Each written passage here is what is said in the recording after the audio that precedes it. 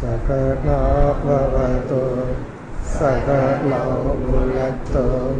सकविद्यकरभै तेजस्वि नावीतमस्तु माद्विशापैः ॐ शान्ति शान्ति शान्तिः।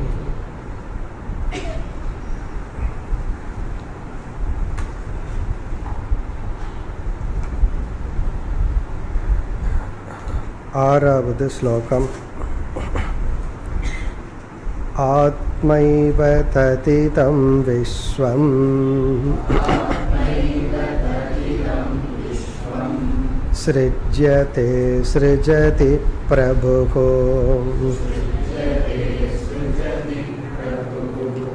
त्रायते त्राति विश्वात्मा।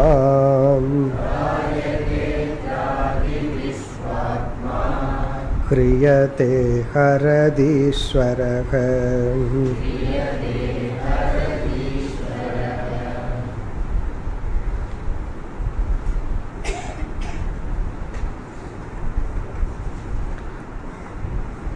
உத்தவ கீதையில் இந்த இருபத்தி மூன்றாவது அத்தியாயம் முழு வேதாந்தத்தின் சாராம்சம் என்று பார்த்தோம் உபனிஷத்துக்களில் எந்த கருத்து மையமாக உபதேசிக்கப்பட்டதோ பகவான் அந்த சாரத்தை கூறி தன்னுடைய இறுதி உபதேசத்தை முடிக்க இருக்கின்றார். நாம் பார்த்தோம் அடுத்த அத்தியாயம் ஒரு முடிவுரை போன்ற ஒரு அத்தியாயம். இதில் முதல் ஒன்பது ஸ்லோகங்களில் பிரம்ம சத்தியம் ஜெகன் மித்யா என்ற கருத்தை பகவான் நிலைநாட்டுகின்றார். பிறகு உத்தவர் ஒரு கேள்வியை கேட்பார். அதற்கு பதிலாக பகவான் மேலும் வேதாந்த கருத்துக்களை கூறுவார். இதில் பிரம்ம சத்தியம் என்பதை விட ஜெகத் மித்யா என்ற கருத்து தான் நிலைநாட்டப்படுகிறது. பகவான் ஜெகத் மித்யாங்கிற கருத்தை நிலைநாட்ட அதிக முயற்சி எடுத்துக்கொள்கின்றார் அதிலிருந்து நாமும் அதற்கு அதிக முயற்சி எடுத்துக்கொள்ள வேண்டும். பிரம்ம சத்தியம்ங்கிறதுல பெரிய பிரச்சனை நமக்கு இல்லை ஜெகத் மித்தியாங்கிறத தான் ப்ராப்ளம் காரணம் வந்து அந்த ஜெகத்து தான் விவகாரத்துக்குள்ள இருக்கு. நம்முடைய ஒவ்வொரு டிரான்சாக்ஷன் ஒவ்வொரு விவகாரமும் சத்தியத்துவ புத்தியை தூண்டி கொண்டு இருக்கின்றது அது உண்மை உண்மைங்கிற புத்தியை தூண்டுது. மோகத்தை தூண்டுகிறது. அதையெல்லாம் நீக்கி இவைகள் வந்து வெறும் தோற்றம் மாயை மித்தியா என்று உணர வேண்டும். இப்போ சென்ற வகுப்பில் ஒரு கேள்வி பதில பார்த்தோம். எது பிரயோஜனப்படுதோ அது சத்தியம் எது பிரயோஜனப்படலையோ அது மித்தியா அது பொய் அப்படிங்கிற ஒரு அனுபவம். அந்த அனுபவத்தில் இந்த உலகம் பிரயோஜனப்படுறதுனால அது சத்தியம் என்ற எண்ணம் வந்தால் அது தவறு. பிரயோஜனப்படுவதற்கும் சத்திய மித்யாவுக்கும் சம்பந்தம் இல்லை என்ற கருத்தை பார்த்தோம்.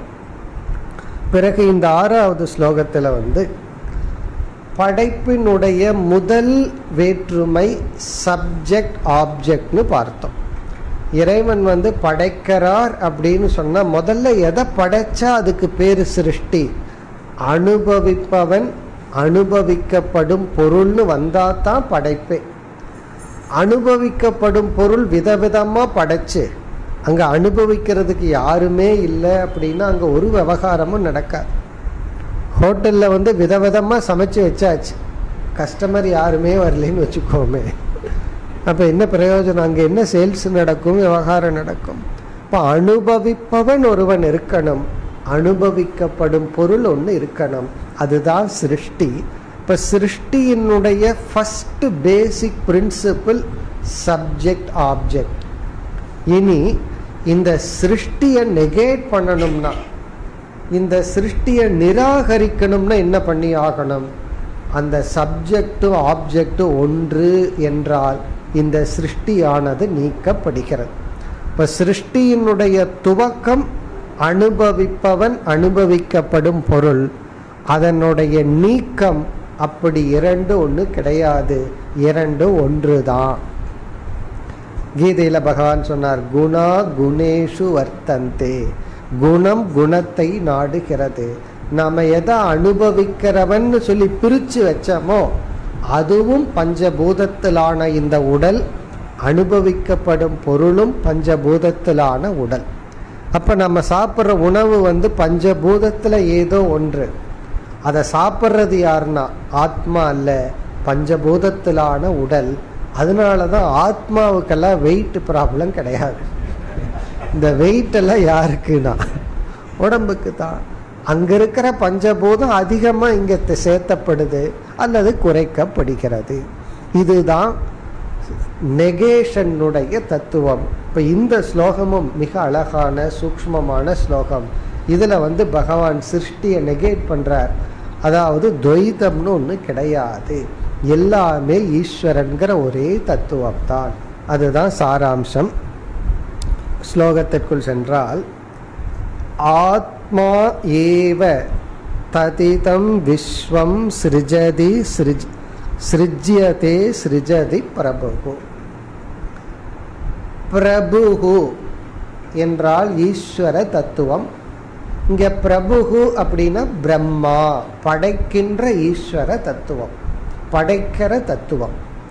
படைக்கின்ற ஈஸ்வரன் காக்கின்ற ஈஸ்வரன் தனக்குள் எடுத்துக்கொள்கின்ற ஈஸ்வரன். அந்த ஈஸ்வர தத்துவத்தை மூணா பார்க்கிறோம்.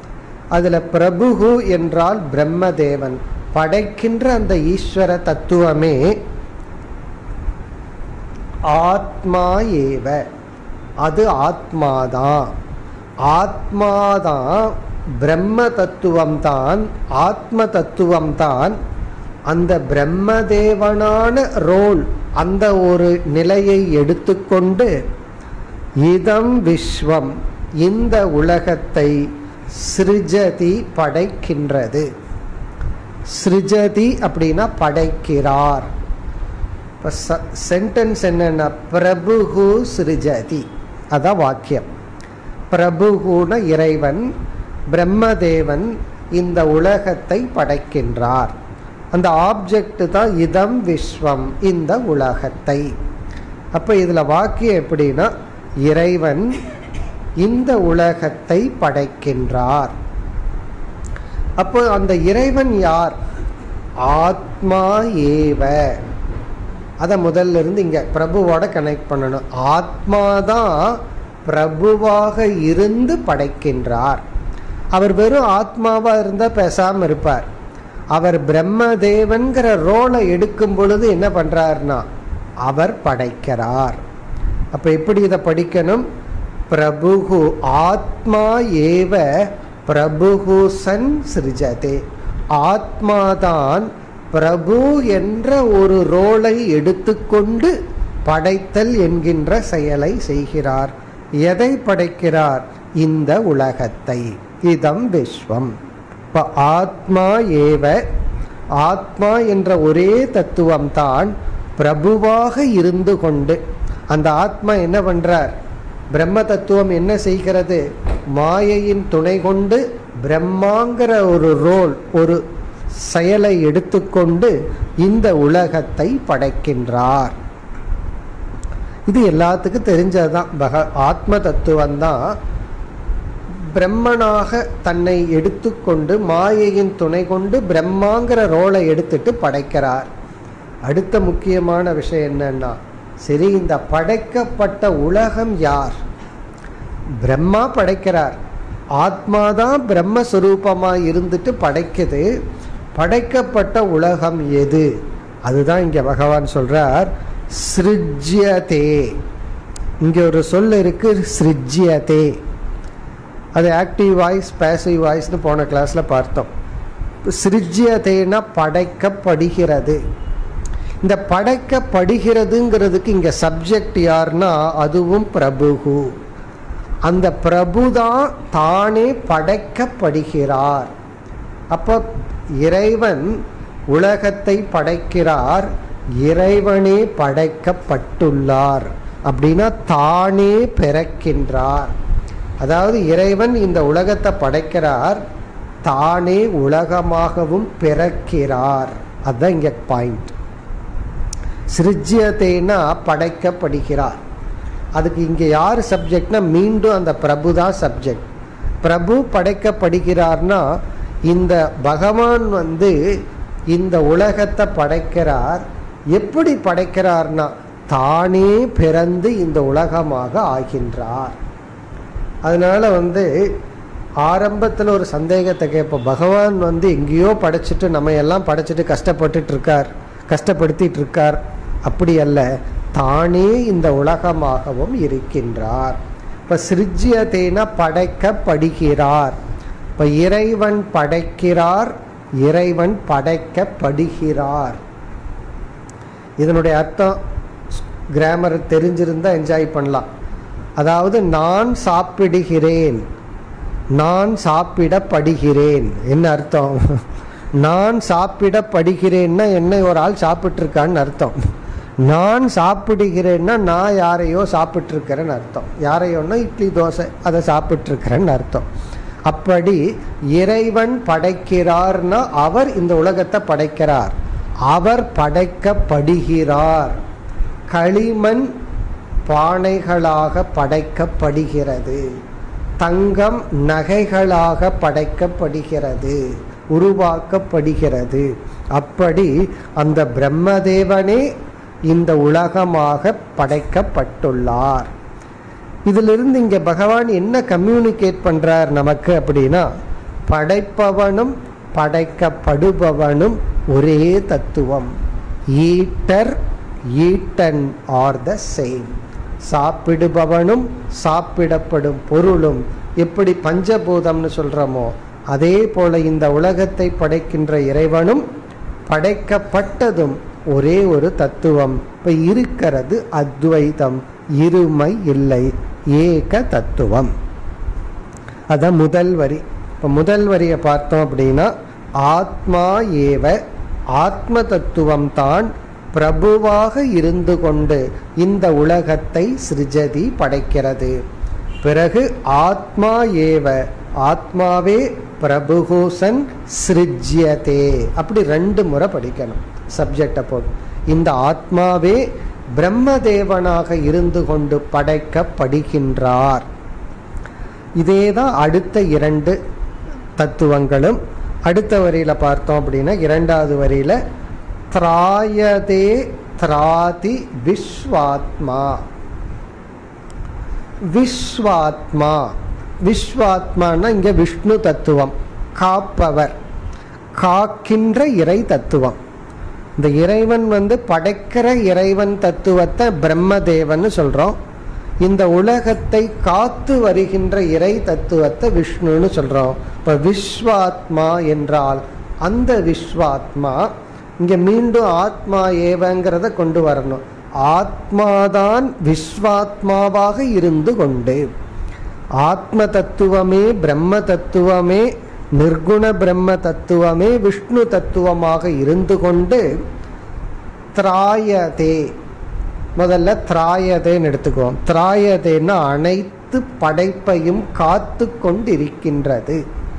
எல்லா ஜீவராசிகளையும் இந்த உலகத்தையும் இந்த உலகத்தில் உள்ள நியதிகளையும் தன்னுடைய கட்டுக்குள் வைத்து கொண்டிருக்கின்றது. திராயதேன காப்பாற்றிக் கொண்டிருக்கின்றது. கொஞ்சம் நம்ம வந்து அந்த ஃபிசிக்ஸ் எல்லாம் படித்தோம்னா ஆச்சரியமாக இருக்கும். நம்ம வந்து ரொம்ப ஸ்பீடாக ட்ராவல் பண்ணிட்டு இருக்கோம் பூமி வந்து ட்ராவல் பண்ணுறது நம்ம பண்ணுற மாதிரி தானே. காரில் அமர்ந்து ரொம்ப தூரம் ட்ராவல் பண்ண நம்ம என்ன சொல்கிறோம் நான் இவ்வளோ ஸ்பீடாக போயிட்டுருக்கேன்னு சொல்கிறோம்ல அதே போல் நம்ம பூமியில் எவ்வளோ ஸ்பீடு மைலில் போயிட்டுருக்கோம். இவ்வளவு ஒரு ஆர்டரில் நடந்துட்டு இருக்கணும் எங்காவது ஒரு சின்ன ஆக்சிடென்ட் ஆனால் என்ன ஆகிறது? ஒரு சைக்கிள் ஆக்சிடென்ட்டுக்கே உயிர் போகுது. பூமி ஆக்சிடென்ட் ஆச்சுன்னா என்ன ஆகிறது? அப்போ திராயதே நியதிகள். இந்த உலகத்தில் ஒரு நியதியை பகவான் படைச்சு அதை காப்பாற்றி கொண்டு இருக்கின்றார் இனி அடுத்த சொல் திராதி. திராதினா காப்பாற்றுகிறார். திராயதேனா காப்பாற்றப்படுகிறார். அதாவது பகவான் வந்து உலகத்தை காப்பாற்றுகிறார். இனி ஒரு ஆங்கிள் தன்னை காப்பாற்றி கொண்டிருக்கின்றார். தான் காப்பாற்றப்படுகிறார். இங்கே ஆக்டிவ் வாய்ஸ் பேசிவ் வாய்ஸ் பகவானே காப்பாற்றுகிறார். பகவான் காப்பாற்றப்படுகிறார். இது வந்து ஃபேமஸ் ஒரு நீதி ஸ்லோகத்தில் ஒன்று இந்த மாதிரி வரும். தர்மோ ரக்ஷதி ரக்ஷிதக. கேள்விப்பட்டிருக்கலாம். ரொம்ப அழகான ஒரு சொல். தர்மத்துக்கு ஒரு லட்சணம் என்னன்னா தர்மம் என்பது தன்னை காப்பவனை காப்பாற்றுகிறது. அதாவது தர்மத்தை தர்மம் காப்பாற்றப்பட்டால் அது காப்பாற்றுகிறது. காப்பாற்றப்பட்ட தர்மம் காப்பாற்றுகிறது. அதே போலதான் இந்த ஸ்லோகமே அமைஞ்சிருக்கு. பகவான் உலகத்தை காப்பாற்றுகிறார். பகவான் காப்பாற்றப்படுகிறார். அப்படின்னு என்ன அர்த்தம்னா பகவான் தன்னை தானே காப்பாற்றி கொண்டு இருக்கின்றார் தானே தன்னை உருவாக்கி தன்னை தானே படைப்பித்து தான் படைக்கிறார். தன்னைத்தானே அவர் காப்பாற்றி கொண்டிருக்கின்றார் இந்த பக்தன் வந்து ஒரு ஸ்டேஜில் எப்படி பகவானிடம் சரணடையணும்னா முதல்ல இறைவா என்னை காப்பாத்து அப்படி இப்படி நல்லா போராடிட்டு கடைசியில் நான் யாரு? உனக்கு இஷ்டம்னா என்னை காப்பாத்திக்கோ. ஏன்னா நீ நான் ஒன்று தான் என்னை அழி உன்னை அழிச்சுக்கணும்னா உன்னை நீ என்ன அழிச்சிக்கோ? அப்படின்னு சொல்லி விட்டுறோம். அப்போ என்ன நீ காப்பாற்றுவதுங்கிறது உன்னை நீ காப்பாற்றுவதற்கு சமம். வேறொரு பக்தர் வேற ஆங்கிள் சொன்னார். நான் அகங்காரத்தில் அல்ல பக்தியினுடைய மேலான நிலையில சொல்றார். இதோ பாரு நான் உன்னுடைய பெரிய பக்தன். உன் பக்தனை காப்பாற்றணும்னா என்ன காப்பாற்றிக்கும் எனக்கு இதுக்கு சம்பந்தம் இல்லை. அப்படின்னு என்ன பகவானையே பிளாக்மெயில் பண்ணுறது நீ எனக்கு ஏதாவது கஷ்டத்தை கொடுத்தீங்கன்னா உன் பக்தனை காலவாரிட்டதாக அர்த்தம். அதனால உன் பக்தனை காப்பாற்றணும்னா என்ன காப்பாற்றிக்கும் ரெண்டும் ஒரே தத்துவம் தான் அப்படி திராயதே திராதி விஸ்வாத்மா ஆத்மா ஏவ ஆத்ம தத்துவமே விஷ்ணு தத்துவமாக இயங்கிக் கொண்டு உலகத்தை காத்து தன்னையும் காத்து கொண்டிருக்கின்றார். இனி அடுத்த பகுதி. ஹிரியதே ஹரதி ஈஸ்வரக. ஈஸ்வரக சிவ தத்துவம் ஈஸ்வர தத்துவம். ஈஸ்வரன் இங்கேயும் அதே போல ஆத்மா ஏவ அந்த ஆத்ம தத்துவமே ஈஸ்வரனாக இருந்து கொண்டு ஹரதி அனைத்தையும் தனக்குள் எடுத்துக்கொள்கிறது சம்ஹாரம் செய்கின்றது. ஹரதின எடுத்துக்கொள்கிறது பிறகு ஹிரியதேன தானே எடுத்துக்கொள்ளவும் படுகிறது. அதுவே எடுக்குது அதுவே எடுத்துக்கொள்ளப்படுகிறது பகவான் தன்னையே மாய்த்து கொள்கிறார். இது சூசைடு மாதிரி. அவன் அவனையே அழிக்கிறது போல பகவான் என்ன பண்ணுறாராம் இந்த சிருஷ்டியை தானே எடுத்துக்கொள்கிறார் தன்னையே மறைத்து கொள்கிறார். இப்ப இதனுடைய சாராம்சம் என்னன்னா இந்த ஸ்லோகத்துல சிருஷ்டி ஸ்திதி லயம் எப்படி சொல்லப்பட்டது உள்ளதுன்னா ஒரே தத்துவம். ஒன் ஒரே தத்துவம் படைக்கிறது படைக்கப்படுகிறது காக்கிறது காக்கப்படுகிறது அழிக்கிறது அழிக்கப்படுகிறது. அப்படின்னு என்ன அர்த்தம்னா அத்வைதம்ங்கிற ஒரே ஆத்ம தத்துவம் தான் இருக்கு. ஏன்னா ஆரம்பத்தில் ஆத்மா ஏவன்னு போட்ட. ஆத்மாதான் அனைத்துமாக இருக்கிறது. மாயா என்ற சம்பந்தத்துடன். இனி வருகின்ற அடுத்த பகுதிகளில் இந்த மித்தியாத்துவத்தை மேலும் பகவான் நிலைநாட்டுகின்றார். அடுத்து ஏழாவது ஸ்லோகம்.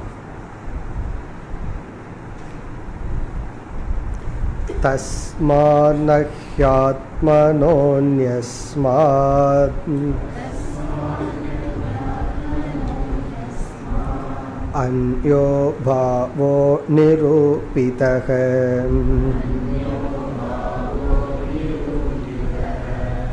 निरूपितेयं त्रिविधा निर्मूला भातिरात्मनि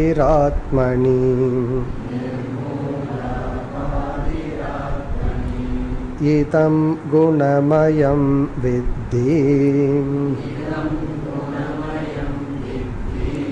त्रिविधं मायया कृतम्।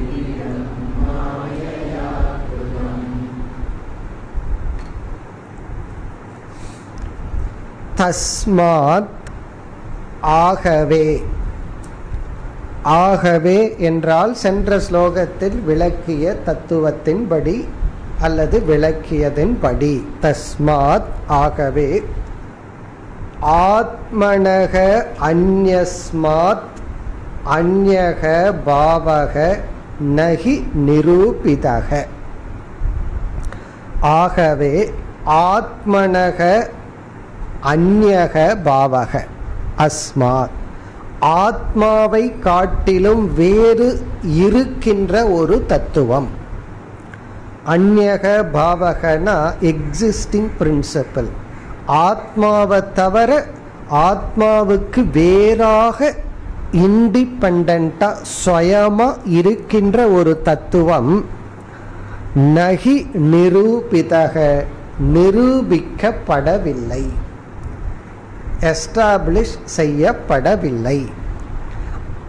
ஆத்மனக அந்யஸ்மாத் அந்யக பாவக. ஆத்மாவிடமிருந்து வேறாக தனித்து வேறு ஒரு தத்துவம் இருப்பதாக நகி நிரூபிதக நிரூபிக்கப்படவில்லை. இட் இஸ் நாட் ப்ரூவ்டு அப்படின்னு பகவான் சொல்றார். இதை கேட்ட உடனே நம்ம மனசுல என்ன தோணும்? இல்லையே நமக்கு உலகம்னு ஒன்று இருக்கே சாஸ்திரமே சிருஷ்டின்னு நல்லா ஒன்று சொல்லி இருக்கே சாஸ்திரத்துல சிருஷ்டி பேசப்பட்டிருக்கு அப்ப சாஸ்திரமே ஆத்மாவுக்கு வேறாக சிருஷ்டின்னு ஒரு தத்துவத்தை நிரூபிச்சிருக்கும் பொழுது இல்லைன்னா சாஸ்திரம் ஏன் பேசணும் சிருஷ்டின்னு ஒன்று இல்லைன்னா? இப்படியெல்லாம் பண்ணும்போது எப்படி நிரூபிக்கப்படவில்லைன்னு சொல்கிறீர்கள்? அது மட்டுமல்ல நம்முடைய அனுபவத்திலையும் இருக்கு. அப்ப நமக்கு என்ன சந்தேகம் வருது? அனுபவத்திலையும் சிருஷ்டி இருக்கு. சாஸ்திரத்திலையும் நிரூபிக்கப்பட்டுள்ளதே. அது அடுத்த பகுதியில் இரண்டாவது வரியில் நிரூபிதா இயம் திரிவிதா. திரிவிதான்னா ஆத்தியாத்மிக ஆதி பௌத்திக ஆதி தெய்வீகம் என்றெல்லாம் சாஸ்திரத்துல தானே சொல்லப்பட்டிருக்கு. வேதாந்தம் படிக்க வந்தால் நம்ம என்ன சொல்கிறோம் உனக்கு மூன்று இடத்திலிருந்தெல்லாம் தடை வரும். உன்னிடத்திலிருந்தும் சூழ்நிலையிலிருந்தும் தேவதைகளிடமிருந்தும் எல்லாம் சொல்லி இப்படி மூன்று விதமான பிரபஞ்சம் யார் சொல்கிறா நமக்கு ஏதோ லோக்கலில் தான் தடை வரும்னு நினச்சிட்டு இருப்போம். ஆனால் சாஸ்திரம் வந்து கண்ணுக்கு தெரியாத தேவதைகளெல்லாம் உனக்கு தடை பண்ணுவார்கள்னு சொல்லியிருக்கு. இப்போ சாஸ்திரம்தான் கண்ணுக்கு தெரியாத லோகம் இருக்குன்னு சொல்லுது. இந்த லோகம் இருக்குன்னு எல்லாம் சொல்லி இருக்கு பிறகு என்னுடைய அனுபவமும் இந்த உலகம் இருக்குன்னு இருக்கு. அதனால இங்க வந்து நிரூபிதான்னா ப்ரூஃப் பண்ணப்பட்டிருக்கே. எப்படி திருவிதா? மூன்று விதமான உலகங்கள் இருக்கே என்றால் அதற்கு பதில் சொல்றார் ஆத்மனி பாதி. இது ஆத்மாவில் வெறும் காட்சியாக உள்ளது. இதை இந்த உலகமெல்லாம் இருக்குன்னு நீ சொல்றையே அல்லது சாஸ்திரமும் சொல்லி இருக்கே அதெல்லாம் ஆத்மனி பாதி பாதின வெறும் தோற்றம். ஆத்மாவிடம் இவை தோற்றமாக உள்ளது. சரி அதற்கென்று ஒரு சாரம் இருக்கான்னா நிர்மூலா. நிர்மூலாகனா அதற்கு மூலம் கிடையாது. அதற்கு ஒரு மூலம் ஆதாரம் இல்லை. காணல் நீரை போல. காணல் நீருக்கு ஒரு நீர் ஆதாரமாக இல்லை. இவைகளெல்லாம் ஆத்மனி பாதி. ஆத்மாவிடம் வெறும் காட்சியாக உள்ளது. தோற்றமாக உள்ளது. இதெல்லாம் பொய் தான் அப்ப இந்த இடத்துல என்ன சொல்றார் பகவான்? சாஸ்திரத்துல சிருஷ்டிய பத்தி சொல்லியிருக்குன்னா சாஸ்திரம் சிருஷ்டியை நிலைநாட்ட சிருஷ்டியை பற்றி பேசவில்லை. அந்த சிருஷ்டியை நீக்க சிருஷ்டியை பற்றி பேசி உள்ளது ஏன் அது சாஸ்திரம் அதை பற்றி பேசணும்னா நாம சிருஷ்டி இருக்கும்னு நினைச்சிட்டோம். நம்ம எண்ணத்தை சாஸ்திரம் கடன் வாங்கி கொண்டு அதை எடுத்து அனுவாதம் செய்து நீக்குகின்றது. எதை போல? உங்களுக்கே தெரியும். குரு வந்து அந்த பாம்பு கயிறு அப்படின்னு உபதேசம் செய்யும் பொழுது குருவோட விஷன்ல பாம்பே கிடையாது. பாம்பையே பார்க்காத குரு ஏன் பாம்புன்னு சொல்லணும்னா சிஷ்யனுடைய பார்வையை எடுத்துக்கொண்டு அவர் நீக்குகின்றார். அதுதான் இங்கு சொல்லப்படுகிறது. நிரூபிதா இயம் திரிவிதா. சாஸ்திரத்தினால பேசப்பட்ட சிருஷ்டியும் அனுபவத்தினால நிரூபிக்கப்பட்ட இந்த சிருஷ்டியும் நிர்மூலாபாதி. அது அசாரமாக இருந்து கொண்டு ஆத்மாவிடம் விளங்கி கொண்டிருக்கின்றது. சரி இதற்கெல்லாம் மெட்டீரியல் காசு என்ன? இதுக்கெல்லாம் ஆதாரம் என்ன? அடுத்த வரியில் சொல்கின்றார். இதம் குணமயம் வித்தி. த்ரிவிதம். இந்த மூன்று விதமான சிருஷ்டி குணமயமாக ஹே உத்தவா அறிந்துகொள். வித்தி உத்தவா குணமயம். சத்வரஜஸ்தமஸ் தமஸ் என்ற குணமயமாக அறிந்துகொள். சரி இந்த குணம்தான் எங்கிருந்து வந்தது? மாயையா கிருதம் மாயையா கிருதம் மாயையினால் செய்யப்பட்டதாக அறிந்துகொள். த்ரிவிதம். இந்த மூன்று விதமான பிரபஞ்சமும் மூன்று விதமான குணங்களாக மாயையினால் செய்யப்பட்டதாக அறிந்து கொள். ஏன்னா மாயையே மூன்று குணஸ்வரூபம். அந்த மூன்று குணஸ்வரூபமான மாயையிலிருந்து இந்த உலகம் ஆத்மாவிடம் வெறும் காட்சியாக தோற்றமாக உள்ளது. இப்படியெல்லாம் கூறி நீ அடுத்த இரண்டு ஸ்லோகத்துல வந்து பகவான் தன்னுடைய உரையை கன்க்ளூடு பண்ண போறார். ஆகவே ஒரு ஞானி ஒரு வைஸ்மேன் இப்படி இருக்க வேண்டும் சொல்ல போகின்றார். அடுத்த ஸ்லோகம் எட்டாவது ஸ்லோகம். ஏதத் வித்வான் மதுதிதம்.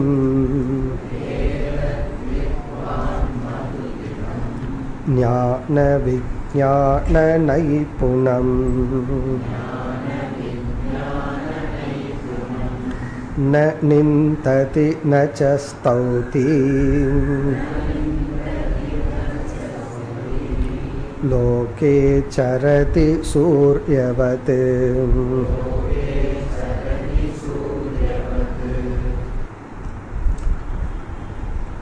एतत् मत् उतितं विद्वान्। एतत् इन्द मत् उतितम् என்னால் உபதேசிக்கப்பட்ட தத்துவத்தை வித்வான் அறிகின்ற ஞானி. மத் உதிதம் அப்படின்னா என்னால் இதுவரை உபதேசிக்கப்பட்ட. இந்த அத்தியாயத்தில் சொன்ன ஏழு ஸ்லோகம் அல்லது உத்தவருக்கு என்ன சொல்லலாம்? முழு உத்தவர். இதுவரைக்கும் நான் உனக்கு எவ்வளவோ சொல்லி இருக்கேன் அதெல்லாம் பகவான் கன்க்ளூட் பண்றார். மதுதிதம் வித்வான் ஹம்ச கீதைன்னு ஒரு இடத்துல அப்படி பல இடங்கள்ல ஆத்ம தத்துவம் உபதேசிக்கப்பட்டுள்ளது. அந்த என்னுடைய உபதேசத்தை அறிகின்ற ஞானி இந்த உபதேசத்தை மீண்டும் விளக்கிறார். நான் செய்த இந்த உபதேச அறிவிருக்கே அது எப்படிப்பட்டது? ஞான விஜான நைப்புணம் நைப்புணம் அப்படின்னா நிஷ்டா. என்று பொருள். நிஷ்டை. நிபுணன் அப்படிங்கிற சொல் இதுலேருந்து தான் வந்தது. அவர் பெரிய நிபுணர் அப்படின்னு சொல்றோம்ல நைபுணம். நிபுணர் அப்படின்னு சொன்ன என்ன? தேர்ச்சி பெற்றவர் அர்த்தம். நிபுணர் அப்படின்னு சொன்ன என்ன? அதில் கலை கண்டவர். அதில் வந்து முழுமையாக தேர்ச்சி பெற்றவர் நிலை பெற்றவர். அவரைத்தான் நிபுணர்னு சொல்லுவோம். ஒன்றும் தெரியாமல் அறகுறையா தத்து புத்துன்னு இருக்கிறவர் நிபுணர்னு சொல்ல மாட்டோம். எந்த ஃபீல்டு எடுத்துட்டாரோ அதில் நிஷ்டை அடைஞ்சிட்டா நிபுணர்னு சொல்லுவோம். அதனால நைப்புணம்னா நிஷ்டா. என்ன நிஷ்டை இது? ஞான விஜான நைப்புணம் நான் ஒரு உபதேசம் செஞ்சனே அந்த உபதேசம் ஞான நிஷ்டையுடனும் விஜான நிஷ்டையுடனும் கூடியது. இங்க ஞானம் அப்படின்னு சொன்னா அகம் பிரம்மாஸ்மிங்கிற ஞானம். விஞ்ஞானம்னா ஞான நிஷ்டை. ஞானத்தினுடைய பலனை அனுபவிப்பது. அந்த விபரீத பாவனை இல்லாத ஞானம். சம்சாரத்தை நீக்க வல்ல ஞானம். இந்த சம்சாரத்தை நீக்காத ஞானம் நீக்கிற ஞானம் இருக்கான்னு கேட்கக்கூடாது. சில சமயம் ஞானம் வந்தாலும் கூட நம்ம விபரீத பாவனை அந்த பலனை கொடுக்கறதுக்கு தடையா இருக்கும். எனக்கு தெரியுது ஆனால் முடியலன்னு எத்தனை முறை சொல்றோம். எவ்வளவு டாக்டர் வந்து கையில சிகரெட் வச்சுட்டு எனக்கு இது என்னென்ன பண்ணணும்னு தெரியும் ஆனால் விட முடியலன்னு சொல்கிறார்கள். சிகரெட் எப்படிப்பட்ட நாசத்தை அடையுங்கிறது டாக்டருக்கு படிக்கணுங்கிறது இல்லை. நீங்கள் எந்த சேனலில் எந்த டிவியை பார்த்தாலும் அதானே போட்டிருக்காங்க. புகை பிடிக்க வேண்டாம் பிடிக்க வேண்டாம்னு சொல்லி. அப்போ நமக்கு எல்லாத்துக்கும் தெரியுது. ஆனால் முடியலை. காரணம் என்ன? அந்த அறிவு செயல்படுத்த உணர்வு மயமான மனம் தயாராக இல்லை. இப்போ ஞான நிஷ்டைனா அறிவை செயல்படுத்த மனதை உறுதிப்படுத்துதல். இப்போ ஞான விஞ்ஞான நைப்புணம்னா நான் உபதேசித்த இந்த ஞானம் விஞ்ஞானம் இந்த இரண்டையும் நிஷ்டை அடையக்கூடியது இது வெறும் புஸ்தக ஞானமோ பொழுதுபோக்கு ஞானமோ அல்லது வந்து சில பேர் என்ன நினைக்கிறாங்க வேதாந்தம்ங்கிறது ஒரு பியூட்டிஃபுல் பிரெயின் வாஷ் அப்படியே நம்ம அழகா அந்த நேரத்தில் சந்தோஷமா வச்சிருக்கு. இப்போ டாக்டர்கிட்ட போனோம் மனோதத்துவ டாக்டர்கிட்ட போனோம்னா அவர் வந்து நம்மகிட்ட இல்லாதது ஒன்று இருக்கிற மாதிரி உனக்கு ஒரு பிரச்சனை இல்லை நல்லா இருப்பேன் நல்லா இருப்பேன்னு சொல்லி பிரெயின் வாஷ் பண்ணி அனுப்புகிறாருல்ல அதுபோல் வேதாந்தம்னு சில பேர் நினைக்கின்றார்கள். நம்ம வந்து துக்கப்பட்டுட்டு வர்றோம். இது நமக்கு ஆறுதல் சொல்லுது நீ தான் பிரம்ம ஆறுதலாக இரு சந்தோஷமா இரு. அப்படி அல்ல. இந்த உபதேசம் வந்து ஏதோ இல்லாத ஒன்று நமக்கு வந்து ஆறுதலுக்கு சொல்கிறதா இல்லை. இது வந்து ஞான விஜான நைப்புணம் அப்படின்னா இது நிலை பெறக்கூடியது. சத்தியமான உபதேசம் இது. இப்ப நான் சொன்ன இந்த உபதேசம் இருக்கே பிரம்ம சத்தியம் ஜெகன் மித்யா. இது சத்தியம் இதுல நிலை பெற முடியும் இதனுடைய பலனை அடைய முடியும். பலனை அடைய முடியாததை நான் உனக்கு சொல்லல. அல்லது யாரோ ஒருத்தருக்கு மட்டும் சாத்தியமாகிறத உனக்கு சொல்லவில்லை உத்தவா. இது எல்லாராலும் அடையக்கூடிய ஒரு தத்துவம் என்று சொல்லி பிறகு முதல்ல இந்த அத்தியாயத்தை எப்படி ஆரம்பிச்சார்? அதை ஞாபகப்படுத்துறார். ஆகவே ஞானியானவன் ந நிந்ததி நஜஸ்தௌதி. இப்படித்தானே இந்த அத்தியாயத்தை ஆரம்பிச்சார். இ- ஆகவே இந்த ஞானத்தை அடைந்த வித்வான் யாரையும் நிந்திப்பதில்லை யாரையும் புகழ்வதில்லை. அதான் ஞான நிஷ்டையா சொல்றார். நம்ம ஏற்கனவே ஆரம்பத்தில் பார்த்தோம். நம்ம காலையிலேருந்து சாயந்தரத்து வரைக்கும் நம்ம என்னென்ன பேசணுங்கிறத ரெக்கார்ட் பண்ணி பார்த்தோம்னா ஒன்றா யாரையாவது திட்டிகிட்டு இருப்போம் இல்லை நம்மையே புகழ்ந்துட்டு இருப்போம் புகழ்கிறது நம்ம கொஞ்சம் அதிகமாக இருக்கும். திட்டுறது மற்றவங்களை பற்றி கொஞ்சம் அதிகமாக இருக்கும். அல்லது வேற யாரையாவது புகழ்ந்துட்டு இருப்போம் அதுவும் என்னால் தான் அவன் அப்படி இருக்கான்னு சொல்லி அதுலேயும் நான் இருப்பேன். ஒருத்தனை புகழ்ந்தேன் அப்படின்னா அந்த புகழ்ச்சிக்கு நான் தான் காரணம். எங்கிட்ட வந்ததுனால தான் அவன் இவ்வளோ சந்தோஷமாக இருக்கான்னு சொல்லி அதுலேயும் அந்த அகங்காரம் போய் ஒட்டிக்கும் புகழ்ச்சியிலையும். அவருடைய புகழ்ச்சிக்கு நான் பங்கு இல்லை அப்படின்னா அப்படியே கண்டுக்காமல் போயிடுவோம். அப்படி நான் நிந்திச்சிட்டு இருப்போம் இல்லை புகழ்ந்துட்டு இருப்போம் இதெல்லாம் அஜானத்தின் விளைவு. அதனால நம்ம என்ன புரிஞ்சுக்கணும்னா இந்த ஞானி என்ன புரிஞ்சுக்குவான்னா நம்ம வந்து அஜானிகள் உலகத்துல தான் வாழ்ந்துட்டு இருக்கிறோம் ஞானிகளுக்குன்னு ஏதாவது புது உலகத்தை கிரியேட் பண்ணி இங்க ஞானி சார் அலவுடு ஞானிகளுக்கு மட்டும் பிரவேசம்னு போய் அதுல போய் ஞானி உட்கார்ந்துட்டு இருந்தா ஞானிக்கு தெரியும் யாரும் நம்மை புகழ மாட்டார்கள் இகழ மாட்டார்கள்னு தெரியும். ஏன்னா அவர் இருக்கிற உலகம் ஞானிகளுடைய உலகம். ஆனா ஞானி எங்க எந்த உலகத்துல வாழ்ந்துட்டு இருக்கான் ஞானத்திற்கு பிறகும் அதே அஜானிகள் உலகத்துல வாழ்ந்துட்டு அதனால் அதனால ஞானிக்கு தெரியும் என்ன சில பேர் இகழ்ந்து கொண்டிருப்பார்கள் என்னை சிலர் புகழ்ந்து கொண்டிருப்பார்கள். அதனால என்னன்னா உலகம் அஜானத்தில் இருக்கிற வரைக்கும் உன்னால நிந்திக்காமல் புகழாமல் இருக்க முடியாது. ஞானம் வந்ததற்கு பிறகு உன்னால் புகழவும் முடியாது இகழவும் முடியாது. இதுதான் ஞான அஜானத்தின் விளைவு.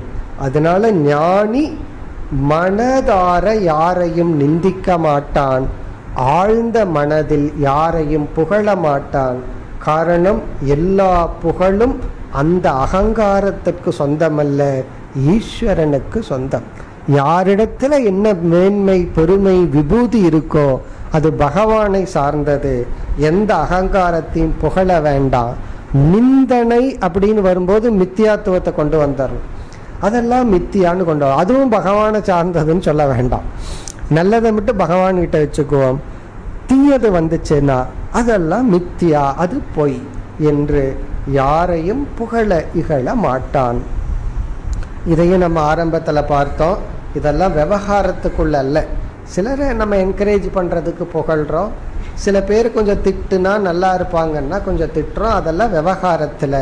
இதனால தான் ஆழ்ந்த மனதில்னு ஒரு வார்த்தையை நம்ம பயன்படுத்துகிறோம் ஆழ்ந்த மனதில் தனக்குள் யார் மீதும் துவேஷம் ராகம் இருக்காது. இப்போ ஞானத்தினுடைய பலன் என்னன்னா ஃப்ரீ ஃப்ரம் ராகத்வேஷா.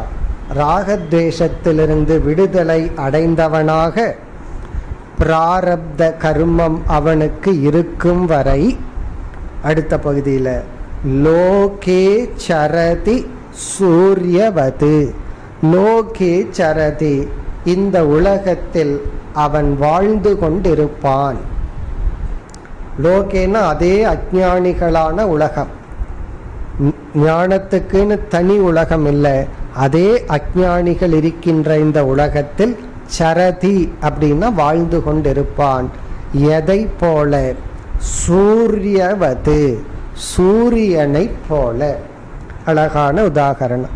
சூரியன் வந்து யாரையும் நிந்திப்பதில்லை யாரையும் ஸ்துதி செய்வதில்லை.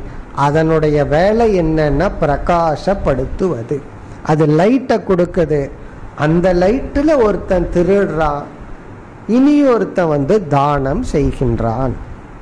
உடனே சொல்லக்கூடாது. இல்லை திருட நைட்டில் தான் போகிறான்னு சொல்லக்கூடாது. அவன் கையில் ஒரு டார்ச் இருக்குமே. அது ஒரு லைட்டு தானே அப்போது அவனுக்கும் லைட் வேணுமே. எந்த இடத்துல எது இருக்குது எப்படி திருடணும் அப்படின்னு.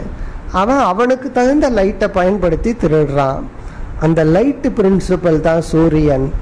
பிறகு தானம் கொடுக்கறதுக்கு கையில் கொடுக்கணும்னா கையில் கொடுக்கணும் வாயில் கொடுக்குற தானத்தை வாயில் கொடுக்கணும். அப்படி அதுக்கும் நமக்கு லைட்டு வேணும். இப்போ லைட்டுங்கிற பிரின்சிபல் என்ன பண்ணுதுன்னா தர்மா தர்மத்தை சமமாக பிரகாசித்தி கொண்டு தான் அதில் எதையும் என்கரேஜ் பண்ணுறதில்ல டிஸ்கரேஜ் பண்ணுறதில்ல அது எப்படி சாட்சியாக உள்ளதோ அதுபோல் ஞானி இந்த உலகத்தில் நடக்கும் சம்பவங்களை சாட்சியாக பார்க்கின்றான். இப்போ சூரியன் வந்து எல்லா கர்மத்துக்கும் காரணம் எந்த கர்மத்தையும் அது செய்வதில்லை. இதை வந்து டபுள் லாங்குவேஜ்லேயும் சொல்லலாம். எந்த கர்மத்தையும் அது பண்ணுறதில்லை அப்படின்னு சொல்லலாம். எல்லா கர்மத்தையும் நம்ம வயசான காலத்தில் அதை சொல்ல இந்த கர்மத்தை எல்லாம் பார்த்துட்டு இருக்கணும் ஏன்னா வீட்டில் உட்காந்து ஜெனரேஷன் கேப்பில் அதை சொல்லுவாங்கல்ல. இந்த கர்மத்தை எல்லாம் பார்க்க வேண்டியது இருக்குன்னு சொல்லி. அப்படி சூரியனும் வந்து சூரியன் தான் பெரிய ஜெனரேஷன் கேப்பில் இருப்பவர். ஆரம்ப காலத்தில் மனுஷன் எப்படி இருந்தா இன்னைக்கு எப்படி இருக்கா இதையெல்லாம் சூரியன் என்ன பண்ணுறார் எல்லா கர்மத்தையும் பார்த்துட்டு இருக்கார் சந்தோஷமாக பார்த்துட்டு இருக்கார் அப்படி இந்த வயதான காலத்தில் அதர்மத்தை ஜீர்ணிச்சு பழகணும். அதர்மத்தை ஜீர்ணிச்சு பழகிறது தான் ஞானத்தினுடைய பக்குவ நிலை. காரணம் என்ன? சத்துவ குணத்துக்கு வந்துட்டோம் அப்படின்னா நம்ம வந்து தர்மத்துக்குள்ள வந்துட்டோம்னு அர்த்தம். அதர்மத்தை ஜீர்ணிச்சு பழகணும்னா ஆரம்ப காலத்துல சில பேர் அதர்மத்தை சந்தோஷமா பண்ணிட்டு இருக்கானுன்னா அவன் ஜீர்ணிக்க வேண்டாம் அவனே அதர்மமா இருக்கான் பிறகு குணம் மாற மாற அவன் சத்துவத்துக்கு வந்துடுறான் அதர்மத்தை நீக்கி பிறகு நம்மை சுற்றி நடக்கின்ற அதர்மத்தில் நமக்கு சக்தி இல்லை என்றால் நம்ம அதை பார்த்து பழக வேண்டும். அதுக்காக அதை அனுமதிக்கிறோம்னு அர்த்தம் அல்ல அதனால நம்ம டிஸ்டர்ப் ஆகாமல் இருக்கணும். அதான் இங்க சொல்றார். ஞானி இந்த தத்துவத்தை உணர்ந்தவன் என்ன செய்ய வேண்டும்? அவன் அனைத்தையும் வேடிக்கை பார்க்கின்றான். அதனால நமக்கு வந்து நிதித்தியாசனத்தில் ஒரு நிதித்தியாசனம் வந்து முக்கியமான நிதித்தியாசனம் சாட்சி பாவம். சாட்சி பாவம்னா எதை சாட்சியா பார்க்கறது? தர்மா தர்மத்தை. தர்மத்தையும் அதர்மத்தையும் சாட்சியாக பார்த்து பழகுதல். அதுவும் நம்மைய சுத்தி நடக்கிற தர்மங்கள். அதை ஜீர்ணிச்சிட்டோம் அப்படின்னா நாம இருக்கிற இடம் மோக்ஷம் ஜீர்ணிக்கல அப்படின்னா சொர்க்கலோகத்துல போய் நம்ம உட்கார வச்சாலும் இந்திரன் இப்படி பண்றான் வாயு இப்படி பண்றான் அக்னி தேவன் இந்த தப்பு பண்றான். அப்படின்னு சொல்லிட்டு ஏன்னா அவங்களே ஏதாவது தப்பு பண்ணிட்டு இருப்பாங்க. எப்போ பார்த்தாலும் இந்திர டான்ஸையே பார்த்துட்டு இருக்கான்னு கோவம் வந்துடும் இப்போ குழந்தைகளை பார்த்து எப்போ பார்த்தாலும் டிவி பார்க்குறாங்கன்னு கோவம் வர்றது போல அங்கேயும் போய் எப்போ பார்த்தாலும் லைவ் ப்ரோக்ராமை பார்த்துட்டு இருக்காங்கன்னு கோவம் வந்துடும் அப்புறம் இது என்னன்னா சம்சாரம் தான். அப்படி இந்த சம்சாரம் அப்படின்னா நான் அக்செப்டன்ஸ் அல்லது ரிஜெக்ஷன் எதையாவது ரிஜெக்ட் பண்ணோம்னா மைண்டு டிஸ்டர்ப் ஆகுது. எல்லாத்தையும் ஏற்றுக்கொண்டால் மனதில் துயரத்துக்கான காரணம் இல்லை என்று இந்த நான் உபதேசித்த மித்தியா சத்தியங்கிற தத்துவத்தை உணர்ந்த ஞானி எதையும் நிந்திப்பதில்லை எதையும் ஸ்துதி செய்வதில்லை எதையும் போற்றுவதில்லை எதையும் தூற்றுவதில்லை. மனநிறைவுடன் சூரியனைப் போல் இருக்கின்றான். பிறகு அடுத்த ஸ்லோகத்தில் இந்த தத்துவத்தை பிரமாணத்தின் மூலமாக ஞானமாக பெற வேண்டும் என்று பிரமாணத்தை அறிமுகப்படுத்துகிறார் ஒன்பதாவது ஸ்லோகத்தில். பிரத்யக்ஷேனானுமானேன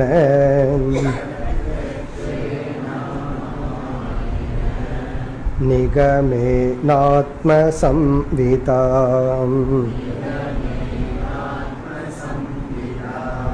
आद्यन्तवत सज्ञात्वा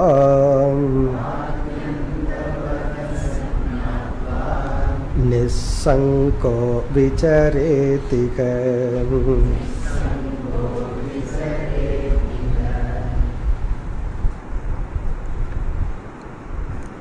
எந்த ஒரு அறிவையும் அந்த அறிவுக்குரிய கருவியின் மூலமாக நாம் பெற்றால்தான் அந்த அறிவில் நமக்கு அறிவு என்ற விஸ்வாசம் ஏற்படும். அது சரியான அறிவா இருந்தாலும் அது சரியான மீன்ஸிலிருந்து பெற்றிருந்தால் அந்த அறிவுல சந்தேகம் வராது உறுதி இருக்கும். அந்த எண்ணத்துக்கே அறிவுங்கிற ஸ்டேட்டஸை கொடுப்போம். அப்படி இல்லை என்றால் நமக்கு சந்தேகம் இருந்துட்டே இருக்கும். ஒன்றும் இல்லை லேட்டஸ்ட் ரயில்வே டைம் டேபிள் வந்திருக்கு. இதெல்லாம் அந்த காலத்து எக்ஸாம்பிள் இப்போல்லாம் எங்கே டைம் டேபிள் வருதெல்லாம் நெட்டில் பார்த்துக்கிறாங்க. இப்போ யாரோ ஒரு நண்பர் சொல்கிறார் இந்த ட்ரெயின் இந்த டைம் நீங்கு போகுது அப்படின்னு சொல்லி. இந்த அறிவு வந்து இவருக்கு வந்துடுது ஆனாலும் சந்தேகம் இருக்கலாம். என்ன அவர் கரெக்டாக சொல்லியிருக்கலாம் தப்பாக சொல்லியிருக்கலாம் அல்லது பழைய ஆறு மாதத்துக்கு முன்னாடி சொல்லியிருக்கலாம். அப்போ அவர் வார்த்தையில் சொல்லிட்டு கொஞ்சம் டவுட்டாக சொல்லியிருக்கிறாருன்னு வச்சுக்குவோமே. அப்போ நமக்கு அந்த அறிவில் சந்தேகம் இருந்துகிட்டே இருக்கும். உடனே நம்ம என்ன பண்ணுறோம் நெட்டை ஓப்பன் பண்ணி அந்த டைம் டேபிளை பார்க்குறோம். லேட்டஸ்ட் இன்னைக்கு அப்டேட் பண்ண டைமை பார்க்குறோம். உடனே நமக்கு அறிவு வந்து விடுகிறது. அப்போ நம்ம வெரிஃபை பண்ணி எந்த ஷோர்ஸிலிருந்து அறிவை அடையிறமோ அடைய வேண்டுமோ அதிலிருந்து அடைஞ்சதுக்கு அப்புறம் அவரே வந்து சொன்னாலும் நம்ம உறுதியாக இருப்போம். இப்போ அவருடைய வார்த்தையிலிருந்து கேட்குற அறிவு வந்து அவர் ரயில்வே டிபார்ட்மெண்ட்லேருந்து வந்து சொல்லலை. அவர் ஏதோ அவர் அனுபவத்தில் சொல்கிறார் அப்போ அது சரியான அறிவை கொடுக்கும் கருவி அல்ல. இப்போ அறிவை கொடுக்கும் கருவியிலிருந்து அறிவு வந்துட்டா அந்த அறிவை யாரால அசைக்க முடியாது. அதைத்தான் இந்த ஸ்லோகத்தில் பகவான் சொல்றார் இந்த மித்தியா அப்படிங்கிற ஒரு அறிவு இருக்கே அதை எந்தெந்த ஷோர்ஸில் இருந்தெல்லாம் நீ பெற்று நீ உறுதிப்படுத்தி கொள்ள வேண்டும். இந்த ஸ்லோகத்தில் பகவான் வந்து நான்கு ஷோர்ஸ் சொல்றார்.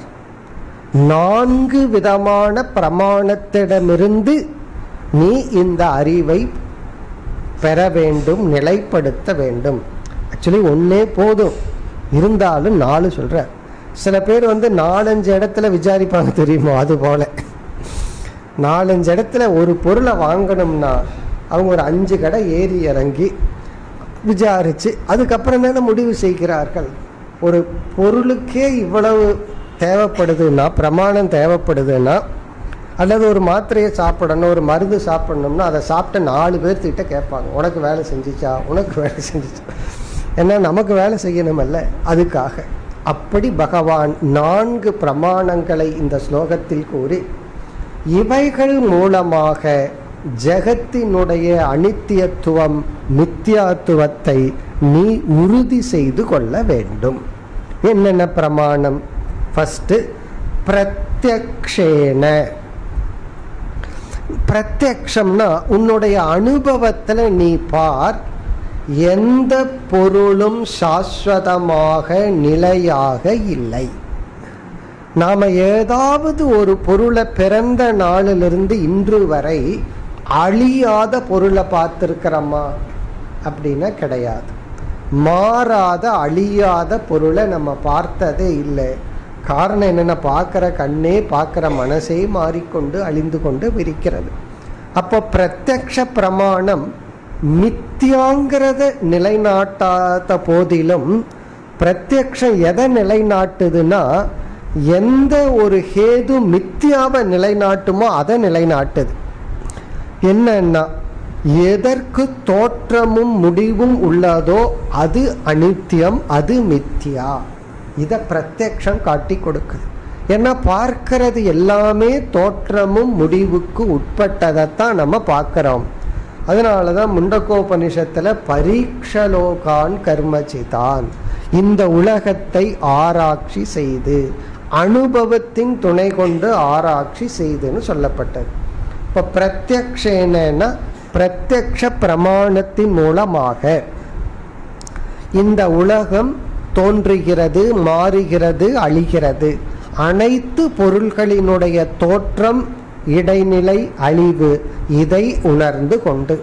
எல்லாத்துக்குமே ஒரு டைம் இருக்கிறது நமக்கு தெரிகிறது. எல்லாத்துக்குமே டைம் இருக்கு. இதை பிரத்யக்ஷன் மூலமாக தெரிந்து கொண்டு. அடுத்தது அனுமானேன. யூகித்தலும் அனுமானத்தின் மூலமாகவும். என்ன சிலதெல்லாம் நம்மளுடைய காலகட்டத்தில் அந்த அழிவை பார்க்க முடியாது. ஒரு என்ஜினியர் பில்டிங் கட்டி நூறு வருஷம் இருக்கும்ட்டு போயிடுவார் நம்ம பார்க்க முடியாத அந்த அழிவை நம்ம பேரம்பேத்தியை தான் பார்ப்பார்கள். அப்போ நம்ம அந்த பில்டிங்குடைய அழிவை பார்க்காட்டியும் நம்ம என்ன பண்ணுறோம் அனுமானத்தின் மூலமாக அந்த அழிவை உணர்ந்து கொள்கின்றோம் புரிந்து கொள்கின்றோம்.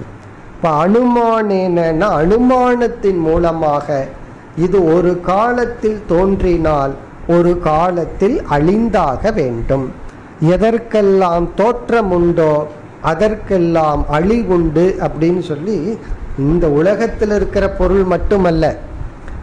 என்னென்னலாம் படைப்பு இருக்கோ லைட் இயர்ஸ் கேலக்சின்னு எதோ சொல்கிறோமே அனைத்தையும் நம்ம அனுபவத்தில் பார்க்க முடியாது. அனுமானத்தினால் அனித்தியத்துவத்தை ஆத்தியந்தவத்துவத்தை உணரலாம். அடுத்தது மூன்றாவது பிரமாணம் நிகமேன. நிகமகன வேதாந்த பிரமாணம் வேதம் சாஸ்திர பிரமாணம். சாஸ்திர பிரமாணத்தின் மூலமாகவும். பிரம்ம சத்தியம்ங்கிறத நம்ம சாஸ்திரத்துல தான் தெரிந்து கொள்ள முடியும். அந்த பிரம்ம சத்தியம்னு சாஸ்திரத்துல தெரிஞ்சிட்டு ஜெகன் மித்தியாங்கிறதையும் சாஸ்திரத்தின் துணை கொண்டு தான் தெரிஞ்சுக்கிறோம்.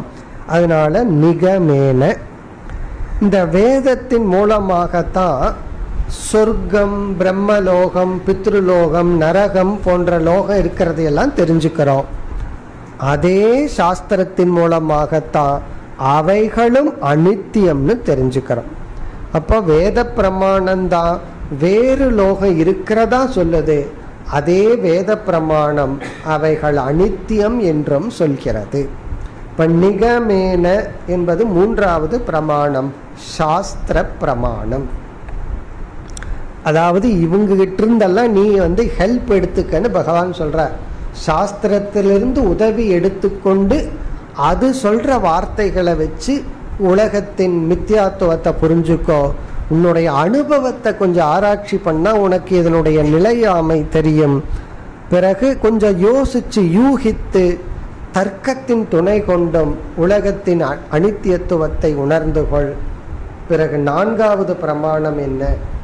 என்றால் ஆத்ம சம்விதா ஆத்ம சம்விதா என்ற நான்காவது பிரமாணம் வந்து ஞானிகள்.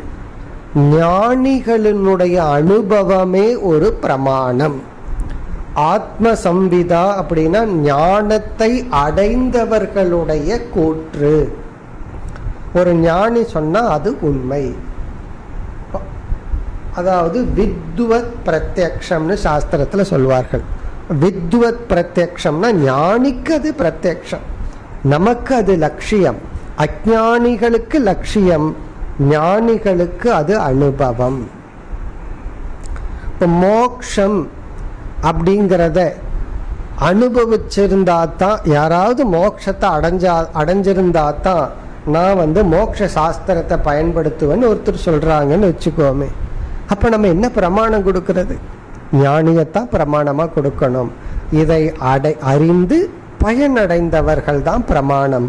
அப்போ ஆத்ம சம்விதா என்றால் ஞானிகளினுடைய வாழ்க்கையை பிரமாணமாக வைத்து கொண்டு அதுதான் நமக்கு சாஸ்திரத்துல ஸ்ரத்தையையும் கொடுக்கும்.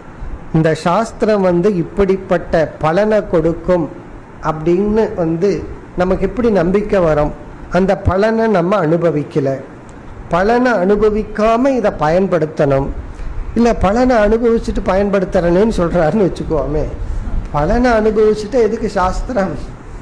அப்போ சாஸ்திரம் எந்த சூழ்நிலையில நம்ம கிட்ட இருக்குன்னா அதனுடைய பிரயோஜனம் நமக்கு தெரியாது. ஆனா அதை பயன்படுத்தினா தான் பிரயோஜனம் கிடைக்கும். மெடிசனே அப்படித்தானே? அந்த மெடிசனுடைய பிரயோஜனம் நமக்கு தெரியாது.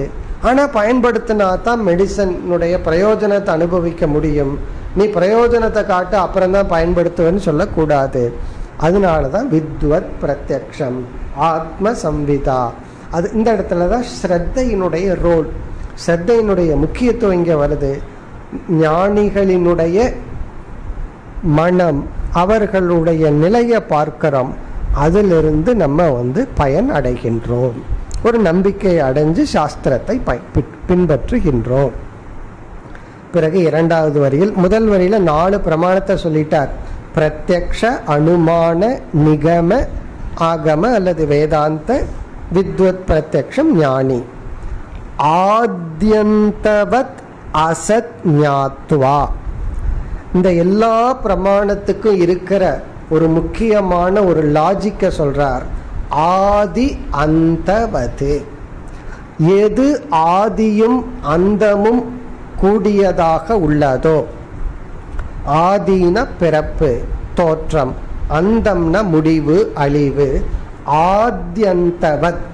எந்த ஒன்றுக்கு ஆதியும் அந்தமும் உள்ளதோ அதை அசத் ஞாத்துவா மித்யாவாக அறிந்து கொண்டு.